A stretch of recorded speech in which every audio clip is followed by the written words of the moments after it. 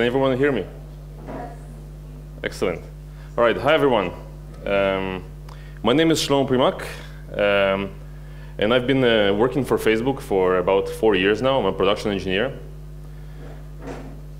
At Facebook, we have multiple teams that deal with uh, MySQL, and um, um, I'm on one of them. So the three teams are, first we have the engineering team, the guys that actually hack MySQL and modify it to add various features. If you ever heard of WebScale SQL, or if you heard of the Facebook patch set, this is the version that we run internally. So we have a whole team that does that, proper software engineers working on MySQL. We have another team, uh, which is about four people. It's pretty small. Uh, they're called the performance team. These are the guys that do actual like database performance work, which is similar to what DBAs do in most companies. So they're the ones who actually engage with various uh, uh, customers of ours. The team I'm on, which is MySQL infrastructure, um, does everything else. So what does that mean? Our team is uh, the DevOps in the most uh, accurate definition. So we do everything from going to data centers occasionally, talking to the people in the data center. Uh, we uh, manage uh, some things that relate to hardware. We buy capacity. We decide how many millions of dollars to spend on hardware every quarter. Uh, also, in addition to that, we write all of the software that runs the MySQL cluster. We have a huge cluster, uh, like tens of thousands of database servers. I'm not allowed to expose the actual number, but it's a lot of machines. And we we do everything that relates to managing that. So when you think about the MySQL cloud, we, we're the cloud. Our team is the one who does that stuff. Uh, and it's distributed in two locations. We have the California uh, Menlo Park uh, team. And uh, that's like six people plus me. I'm managing the team right now. And we also have a team in Dublin, which is six people. So we're a pretty small team, and we do all this stuff. And I'm going to tell you guys today how we do that. Or specifically, one aspect of that, rather, how we back up all of our databases. So what I'm going to cover is some fundamentals about how we do backup, the challenges that happen when you back up uh, this huge distributed system at a huge scale, uh, the system we end up designing, and uh, kind of how we implemented it, and probably cover some war stories here and there that are kind of amusing.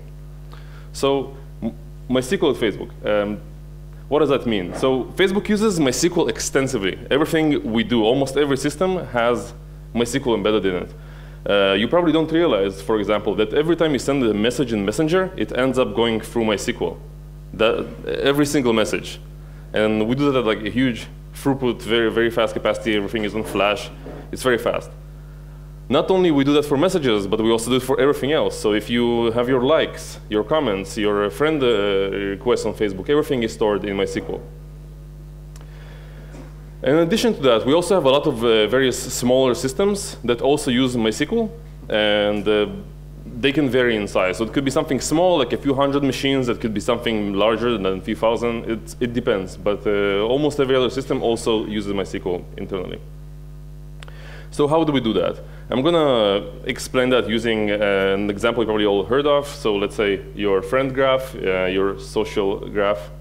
So we do sharding. If you ever heard of any lectures about databases in, in, the past, it probably has been about sharding, how everyone does sharding. If you have a problem, shard it first. So at Facebook, we shard everything using something we call FBID, which is a 64-bit integer. And we have functionality that allows you to map this FBID to a specific shard. And these FBIDs, they're everywhere. So for example, if you look for your Facebook uh, um, account uh, through the Graph API, you'll notice that you have an ID. So you have an ID, your friends have IDs, uh, every connection has an ID, every message you send has an ID. Uh, so 64 bits is a, a, lot of space, so there's enough for everyone to have their own ID and all their friends and so on. So now that we sharded uh, all this data, how do we actually uh, map it to um, storage, to databases? So at Facebook, we run physical servers. We don't do virtualization of any sort, uh, for MySQL at least. Um, and um, the way it works, we have a server. The server runs multiple MySQL instances. Uh, instance is just MySQL running on a specific port. Most people that run MySQL, they run it on like one port. We run multiple instances for every single uh, server. And we have multiple shards. A shard is just a, a database schema or a database uh, in MySQL lingo. So it doesn't run by itself. Of course, we use replication. And uh, we didn't want to uh, just call this a replication chain, so we made up a new uh, idea. We call this a replica set, because these are all replicas of the same uh, data. And um, usually you have a master and multiple slaves that take, the master takes all the writes, the slaves take all the reads. Our databases are globally distributed. These members of the replica set live in many different locations across the globe, and we have a copy of our data in multiple locations. So here on the map, you can see all of our publicly available locations of all the data centers. So San Francisco is over there on the west coast. The closest data center to us is Prineville, Oregon. And you have multiple others. We have one we just uh, built, uh, I think, last year in Altoona. We have one in Ashburn, Virginia, Forest City, North Carolina, and one over there in Europe, which is probably the one that you guys are using when you use Facebook. You probably get to hit that data center, which is closest to you. So we have all these data centers. They all have a full copy of the data, or at least some of them do. But what does that actually mean? So um, here's the part uh, that I like most about Facebook. Um, that as a team that manages databases, I actually get to have access or um, kind of to feel what it means. So so here's an example. Ah, this is, projector is not the best, but these are database racks. Um, how many servers do you think you have in this picture? How many machines is that? Accurate. It's exactly 100 machines. Good job, Tomer. Uh, that's 100 hosts, um, and each one of these racks is huge. They're like, you know, taller than me, they're 42 inch deep, they're humongous. I'm actually not sure if they're 42 because they're open in a rack. This is all hardware we manufacture ourselves. Um, and I've been to these data centers. This is a picture from uh, Luleå, uh, our data center in Sweden. And actually, this host here, which you could have seen better if this projector was better, but these are database machines that we have used three years ago. We no longer have them, but you know, this is old.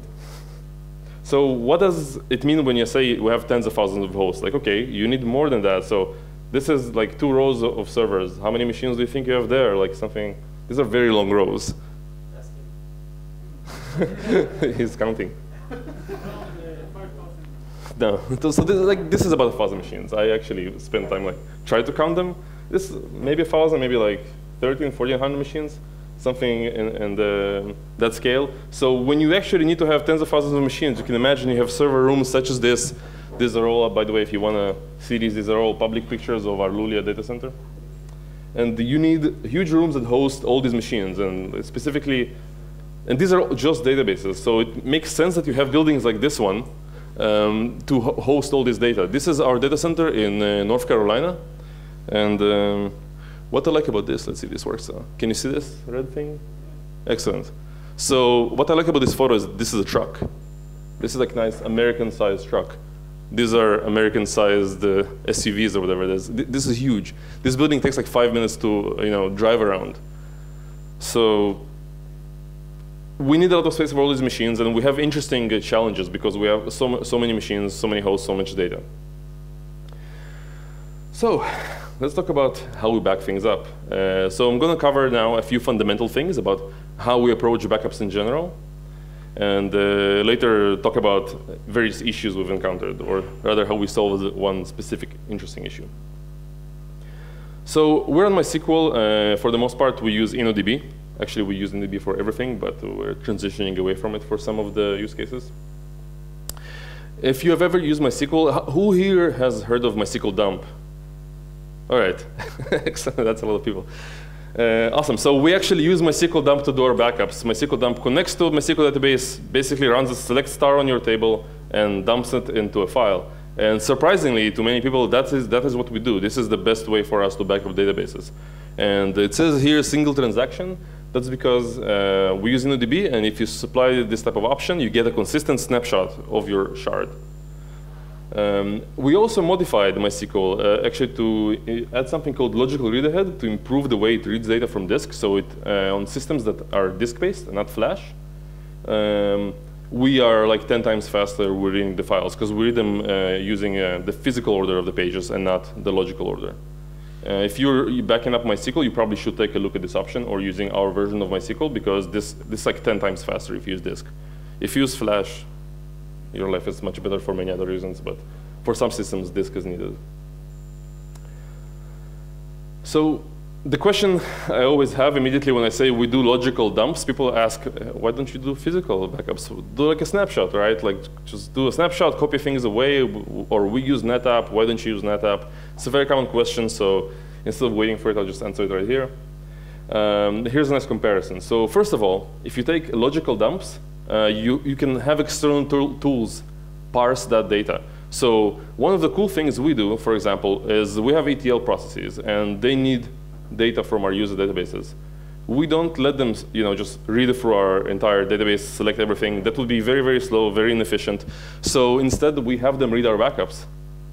And they know how to parse them, they understand them, and, and this is how ETL takes its data.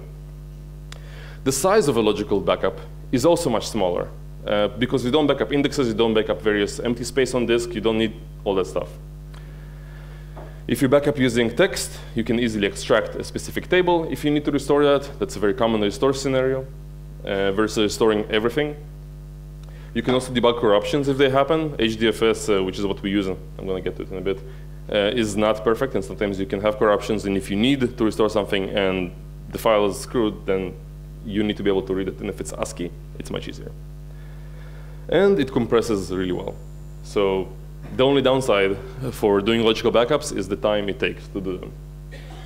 Because you actually need to do select and not just copy files away. So we do MySQL dump, cool. This is how we do full backups. Uh, we also did something uh, pretty interesting, which is called differential backup. We have not open sourced this. It's uh, internal to Facebook right now. The reason it's not open source is because we just didn't do it. There's no good reason. We, we can do it if someone wants to. It's going to be in Java, so I don't know if you want it open sourced. So differential backup. So differential backup uh, in, in this case, in our case, means that we want to store uh, uh, our backups for longer. So since we ba take backups pretty often, we, we don't want to store the full version every time. So we want to take something differential. And if you use databases like Oracle or SQL Server, they know how to do differential backups. MySQL doesn't do that. So we had to create something like that. And the benefits are clear. So differential backup, uh, this is a graph uh, showing the percent of the space taken by differential backups uh, over time and as a percent of the total database size. So you can see it grows quite slower than a full backup would grow. So the benefits are clear. Uh, you, you, just like it's a tiny percentage of the space, and you can store backups for longer. So how did we do that? Uh, actually, it's pretty simple. Um, similar to uh, actual diff commands you could run on uh, your computer. So what we do is we take our full backup from, let's say, yesterday, and we take another backup today. And we just then run and scan the two files, outputting two other files. One for all the rows we deleted uh, or are missing for the new backup, and one for the rows we have inserted. And you just generate these two files. So you scan over them if you have no change, and oh, important thing, of course, the, the backups are for tables that are ordered in order of their primary key, which is very important. Otherwise, this is impossible to do. So this table uh, has two rows, uh, sorry, two columns, ID and city, uh, int, and the city is a varchar, and it's ordered by the ID. So you scan the two files, you see like San Francisco, San Francisco, there's no change. Uh, for ID number two, Oakland changed to Santa Clara, so you want to uh, say, OK, I deleted Oakland, I inserted Santa Clara. This is the difference between these two files. Here, uh, Menlo Park has been completely deleted because 400 is the next one here, so there's no, no ID number three. And Los Angeles has been added since the three dots mean that everything here on is the same. So this definitely means that this row has been added. Yeah. So this is basically a size optimization, right? Yes. Yes. The, the, the point here is to optimize size on disk. So you can do this as post-processing. You take the two files and you just diff them, and voila, you save tons of space. It is, yeah.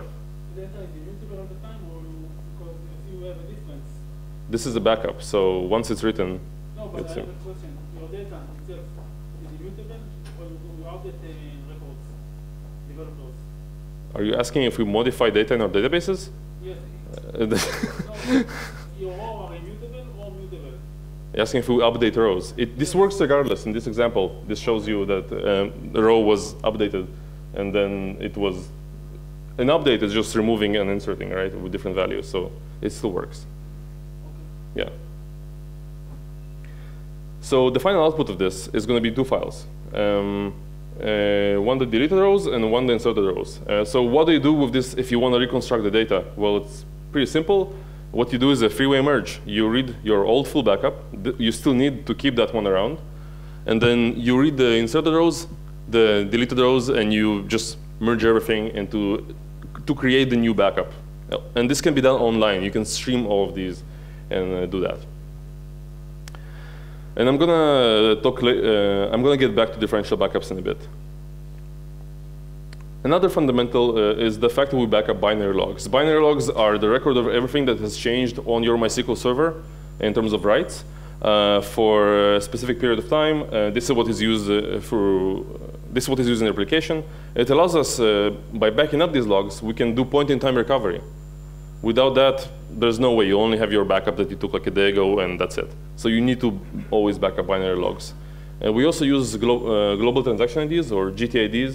Uh, this is fairly new concept in the MySQL world. If you're not using them, you probably should. Uh, they're nice, and the recent version of 5.7, uh, Oracle added a way to um, more easily migrate to them. If you don't want to switch that version, you can use ours, which also has a migration path. Um, so we back this up and we back them up all the time. So what is our schedule? Like, how often do we actually take backups? So we back up everything we have every single day.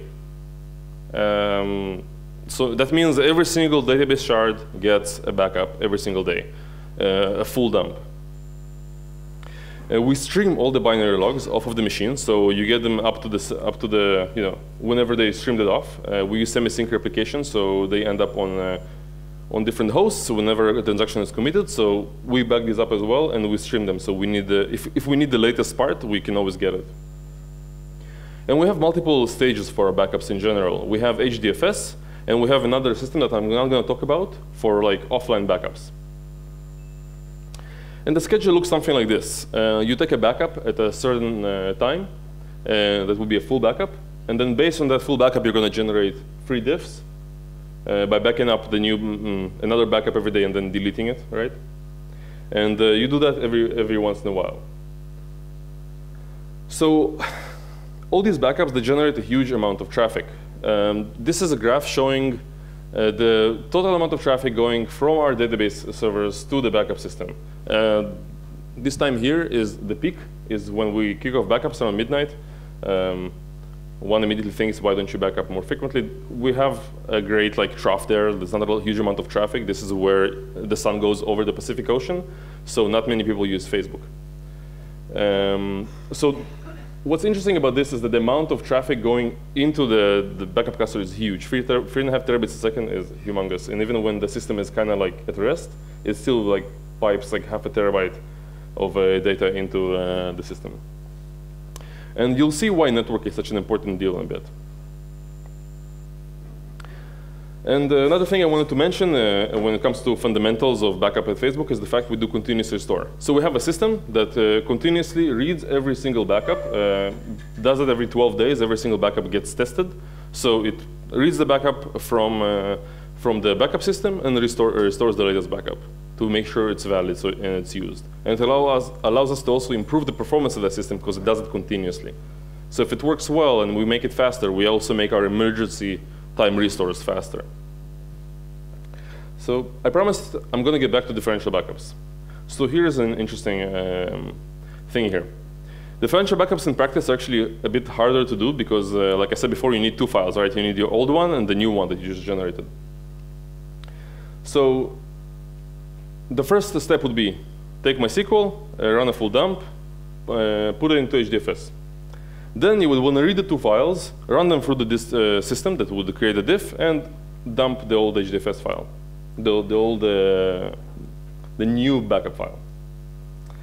Well, the problem is this doesn't actually work. This is how we intended to do this initially. We thought of running the entire thing inside of the HDFS cluster by using some MapReduce job. This is what was written in Java initially, but it just completely failed. It generated too much I.O., it generated too much network IOPS, Uh, and it took too long. The worst part, it took more than a day. So if, you, if your backup takes more than a day, it's unacceptable. Uh, we have to finish in the 24-hour window. So we actually did something neat. Uh, so something that's obvious here is that the full dump is going to be, um, the new full dump is going to be erased once you're done. So why bother even writing it somewhere in, at all? So what we did is something pretty interesting. Uh, we decided to do this in a streaming way. So what we do is we stream the new backup from MySQL. We stream the old one from HDFS from the day before, for example, or two days, three days ago. And we run them through the differ, uh, just stream them. And this whole thing runs on the actual database machine. So it runs this like uh, um, the differ on the, on the host. MySQL pipes the backup into the diff. At the same time, it pipes the data from HDFS into the same thing, and it writes it back into HDFS at the same time. So this way, we never end up writing the full backups. This is a pretty neat trick. Without it, we could not have been able to actually make this work. So that's it for fundamentals and differential backups. Um, this next part of the talk is about our backup scheduling system. So when I say scheduling, uh, scheduling backups is a pretty tough problem. So what we, we do, we have an agent running on every single host, and this uh, agent on that host is responsible for running the backups for all the shards that this machine hosts. If you have multiple instances, you back up these multiple instances using uh, this agent. And it needs to orchestrate that since you have tons of machines, you, it's very hard to have uh, like a single point of failure. You can't have like a backup manager that decides for all the hosts what they're going to back up. That just doesn't work. It's impossible to do. What uh, we do is something a bit more creative. So how, what kind of decisions does a scheduling system like that needs to do? So I'm getting back to this uh, slide of the world. So um, I said we have copies of databases in all these locations, uh, or some of them, but we do not have backup clusters in all of these locations. Our backup capacity is actually spread between multiple regions. So actually, if we want to even take, let's say, uh, the backup for, of our entire data set in one region, we cannot do that. We have to spread it around.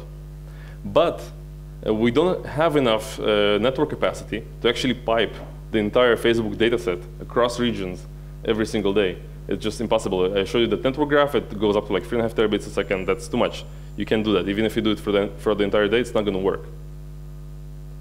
So we need to be creative with how we consume network. And when a system like that uh, needs to make decisions, it needs to make two choices. One is where you back up to, meaning which HDFS cluster in this case you would actually send the backup to. And the second thing it needs to do is what machine would be doing this backup because uh, you have multiple replicas that are everywhere. One of them needs to do the backup eventually. So what are the goals for this type of system? First of all, we need to make sure that we equalize the, the way we use our HDFS clusters. We have many, many, many HDFS clusters. They're all large in size. We need to make sure that we use them equally so that we use our available backup capacity in a smart way. We need to minimize cross-region traffic. So that because if you suddenly start to copy things cross-region, you're going to just hurt actual production traffic. You don't have infinite bandwidth. Within data center, we have crazy, amazing network. It's super fast. This is why we like have huge network spikes. Spikes, it's fine. Uh, across region, it's problematic. We need to make sure to not back up on broken replicas. That means, you know, if you have a broken machine somewhere, or it has outdated version of the data, if it has lag, various problems, you need to make sure to avoid that. So the system needs to account for health. It needs to be consistent, so it doesn't flap around. So you can't one day back up everything here, one day back up everything there. If it starts flapping around, it, it creates unpredictable behaviors. So it needs to, change needs to happen slowly. And of course, it needs to back up at least once. So we designed this interesting distribution algorithm. Uh, basically what we do is uh, instead of having a backup coordinator, we distribute the uh, location that we would have globally in a configuration. We hash all of our shards into buckets. We make like a thousand buckets that allows you like up to one per mil of uh, accuracy uh, where you allocate things. Then you allocate these buckets to clusters, proportional to the size of the cluster. So here's the same thing I just said using pictures. So this is a server. It has 14 shards. Uh, you take the shards, you hash them around into multiple buckets. There's eight here. Pretend it's a thousand, and every single shard has buckets, and every bucket has many shards and then you make an allocation. So in this example, you have a 10 petabyte cluster with a 1,000 buckets. So Uh, 10 petabyte total size for all the clusters combined, sorry. So cluster number one is like one petabyte, second one is three, uh, and according to their sizes, they get proper, proper uh, proportional allocations of buckets. So the one that's two petabytes in size gets 200, the one that's two and a half gets 250, and so on. So then you, you the systems, when they do the backups, they allocate the buckets to whatever range of buckets was allocated to that HDFS cluster. So bucket 20 and 30 are going to end up in the first one, bucket 200 and 400, second one, and so on. They, it's pretty simple, actually. Then the result of this is that we get a unified pool. So uh, assuming the distribution is even and everything is great, you get very nice and clean distribution uh, because of law of large numbers and the fact that everything is random right? Should work. Well, it doesn't actually work in practice, apparently, because uh, we deployed the system, and uh, so these are utilization graphs uh, of uh, our clusters. And surprisingly, one of these guys has been getting way more backups than the others. And this was in the early days when I was deploying this. Um, I had no idea why this was happening. It doesn't make any sense. I thought it would calibrate over time. We actually introduced a new cluster here. You can see it's being turned up. These guys now need to store less. This one went up. What the hell? So that was kind of weird. Well, the problem was that uh, not all hash functions are created equal. Uh, if you use Python hash, you're pretty much fucked. Uh, this, is, this is what you get. This is great allocation, right? This is, so these are, uh, this is zero to a thousand, and these are like, I took like a random sampling of shards, I allocate them to their buckets. You get ranges that are way lower than others. So Python hash is bad. It doesn't work. If, and of course, what is the right solution? MD5, that's it. This is what you get. With MD5, this makes much more sense. You do MD5, you do various make it into an integer somehow and take, uh, do a modulo and you get something way more sane. And this is how it looked like. At the end, all the clusters happily agree and they all store about the same amount of data, uh, proportionally to the size, of course. All right. So next thing I'm going to talk about is how the machines actually decide when to perform backup. So let's say you have this theoretical replica set. You have three machines, uh, and they all need to decide who's going to do the backup. So Let's say they somehow magically got a priority list. I'm going to describe the priority list in a bit. But let's say they magically got this priority list and all of them know uh, what, are, what are the best machines to run the backup.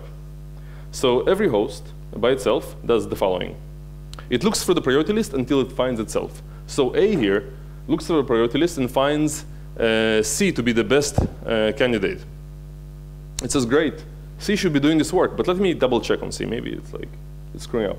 So make sure that the con contacts this host, contacts the backup agent of the machine, says, hey, like, is this machine up? Is it running a backup? Is everything fine? If it is, great. It doesn't need to do anything. But let's say C is dead. So something else needs to do uh, C's work. So it goes down in the list. It says, oh, awesome. I'm A. I'm number two in the list. I should probably run a backup. Great. That's pretty simple. But the tricky part is actually coming up with this priority list, and this is what I'm going to talk about next. So let's uh, go back to this replication uh, set, replica set, and ignore the replication topology because it doesn't matter. Uh, we back up from both masters and slaves. Uh, we don't uh, need uh, to only back up from a specific member of the replica set because they all contain the same data. And let's say in this example, we have uh, HDFS clusters in some of the regions. So A has a cluster available to it uh, named alpha, and C has a cluster available to it named gamma. So now what we do is we define uh, distances. So the distance between two clusters that are located in the same region, let's say it's zero, it's very cheap.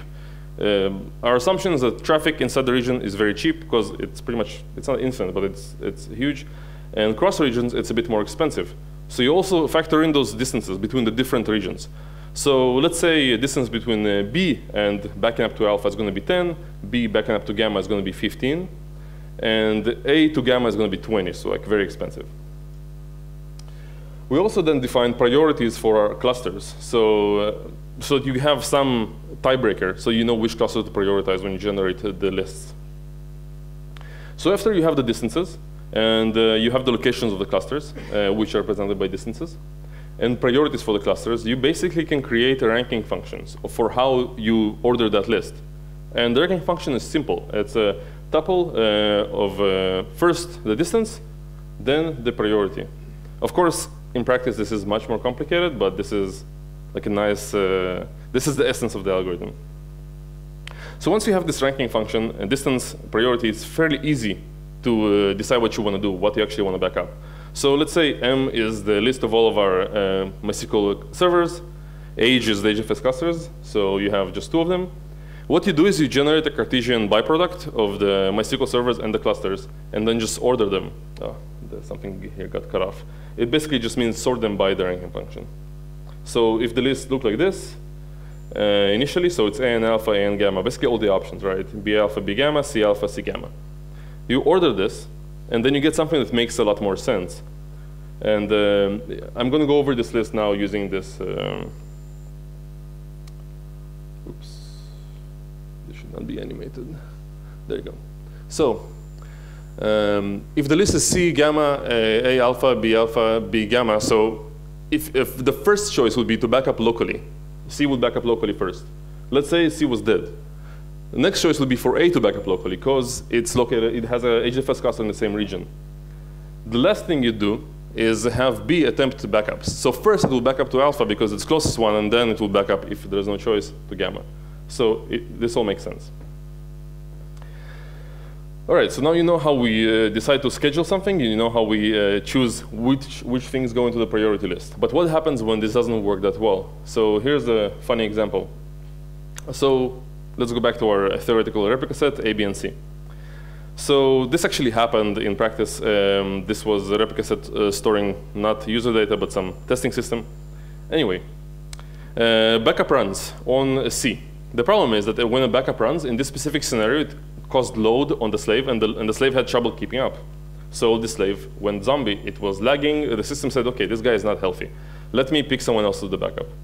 Then B was doing the backup. C was also still doing the backup. But B was also doing the backup, double writing, because it thought it was dead.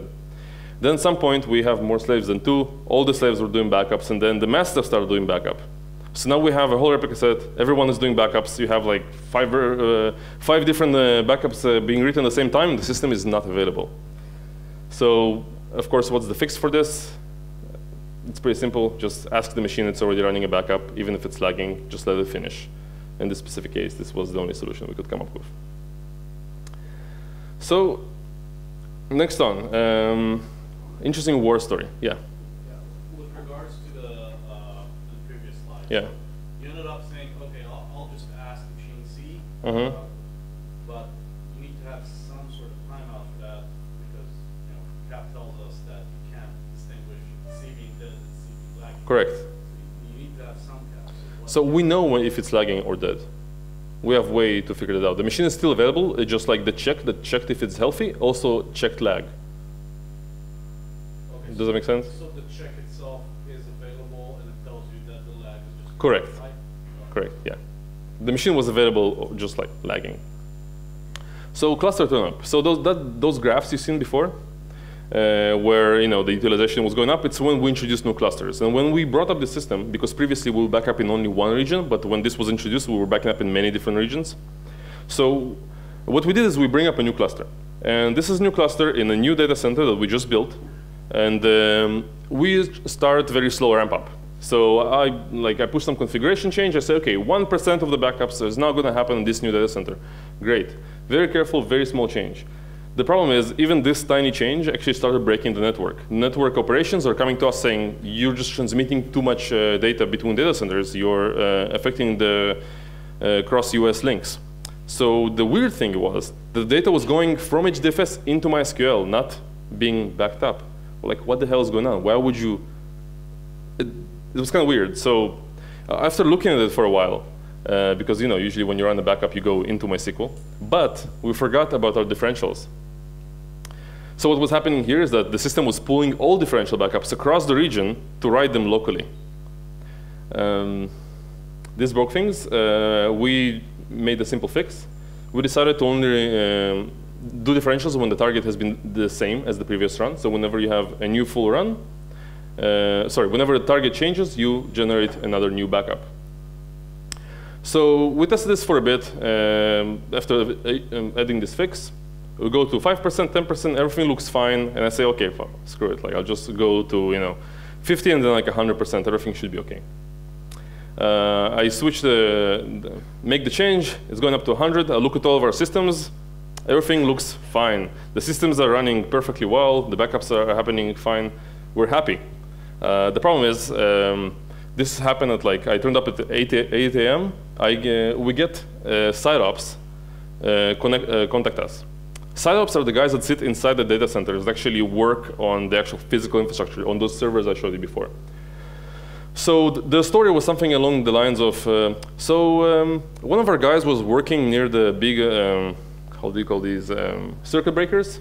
So you know, you know, like the ones you have in your home that, that, that if you use too much current, it, jumps and cuts the power. So we have those in the data centers that just issue, you know, the, a bit more than your home, and like a few megawatts of power go through them. And this, they're pretty huge. They're about the size of this stage. They're humongous in size, computerized, all that stuff. So the problem was that one of the circuit breakers started to hum very loudly. And it coincided very closely with me turning up the backups. I'm like, shit, what did I do? Uh, it doesn't make any sense. So the problem is that when you plan a data center, you need to account for power usage. And the data centers that used to run backups had power usage accounted for these rows. You plan rows, you put racks in specific rows. Every row has specific draw. Every cluster has specific capacity. So the capacity was planned for machines that do not run backups. And uh, the, there was a difference of a few kilowatts per, uh, per rack. So the problem was that if we consume too much power, we're going to basically de-energize uh, many rows, which is a very nice way to say we'll be completely fucked. Um, of course, it wouldn't actually happen with protections, yada, yada, but in theory. So we had an emergency meeting uh, with the site ops guys, and we decided to come up with a simple solution. We just turned off a few racks. Uh, luckily, we were sharing some of the capacity with some web racks. We're like, ah, just turn them off, it's fine. They don't need them. Databases are more important. So this worked just fine. So the future. Everything I just told you is going to be completely irrelevant in a bit. because we already have completely different plans of how we're going to do this stuff. So we're switching to row-based binary logs. Uh, these guys record previous value by, by default. They record the previous uh, value of the row and the new value that you have. And you have the changelog uh, for every single row. So what is a tiny, what, what is a, this row event? This row event that registers previous and next value is actually a very, very tiny diff. So what if you take many, many binary logs, process them, and create a diff offline? You can create those diffs without having a full backup, right? So if you take your full backup and apply diffs to it. You can create a new full without ever touching the database. So in theory, we could run backups only once. Would actually not need to do this whole thing. We could not consume all this network, not consume all this power, and do everything offline somewhere else. So we're not doing that yet, but that's going to come. So yeah, I'm, I'm pretty much done. Um, the whole purpose of me coming here is uh, so that uh, someone can have some more exposure to what we do at Facebook. Of course, we're hiring everywhere in the world, in Israel, in the US, uh, in London. So if you're interested, come talk to me, and I'm open for questions. Ah.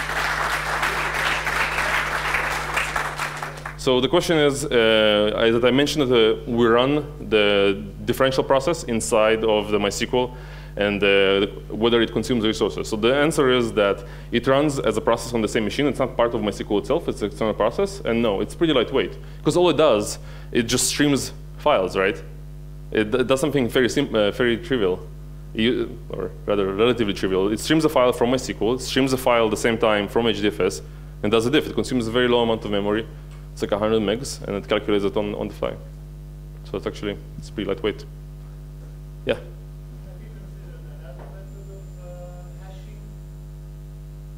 Have you considered another method of hashing? Um,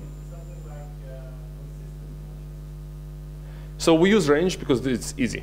I, I can I can move. Thing, the question is whether we consider uh, consi whether we have considered consistent hashing for uh, the way we distribute the backups. So range allocation is very easy because I can create and control the configuration uh, using configuration files that we distribute everywhere using something like Zookeeper. Uh, so I can just say, okay, now divert more to this cluster or less. Because let's say I want to say this cluster now gets penalized because I'm about to drain half of the capacity because we need to take those racks down. So I can control this very tightly. And ranges work perfectly for this. So you know, if you even move the slider a bit here, others get, yeah, it, it works fine. Yeah. beginning of your talk, you mentioned that you use the Facebook radios would be. hmm Usually people who develop systems uh, use the UUID, which is 128 bit. hmm that to be able to generate them uh, in a distributed way. You generate the unique ID with 64 bit? So 64-bit. Uh, so the question is, uh, why don't we use uh, UUIDs for uh, database IDs? Uh, so first of all, 64-bit is, is enough. Uh, we, you don't actually need to go 128. 64-bit is a huge range. Like how do you generate them in a distributed So every shard gets a specific uh, allocation to it. That you know, like some huge, many, many millions of uh, IDs that can go to that shard, and uh, then this is where it's written. Or are you asking how I can generate for a specific object? Also, within the shard itself, if you need to generate few of them at the same time. I, I can uh, uh, talk to you after the, the presentation. Yeah. We're out of time, so if anyone wants to leave, uh, you guys are welcome to. How do you want to do it? All right, we're done.